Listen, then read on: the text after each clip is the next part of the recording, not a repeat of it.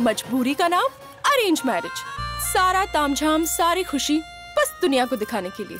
Love marriage में सब दिल से होता है। नो दिखावा नो स्वार्थ। अच्छा तो अपने मम्मी पापा की खुशी और प्यार को भूलकर सिर्फ़ अपने प्यार के बारे में सोचना ये स्वार्थ नहीं है? माँ बाप की असली खुशी बच्चों की खुशी में तो होती है।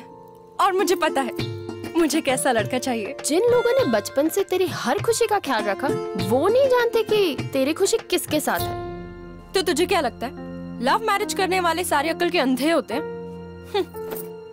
नहीं रे पर प्यार तो अंधा होता है ना? कौन किस पे भारी है?